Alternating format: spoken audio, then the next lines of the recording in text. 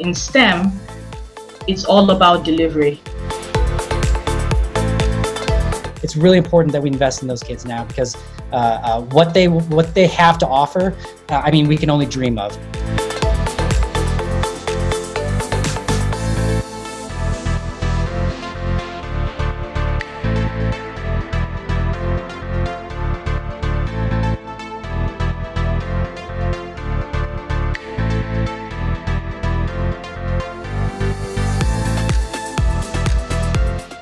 Matt Chapman, thank you for being here.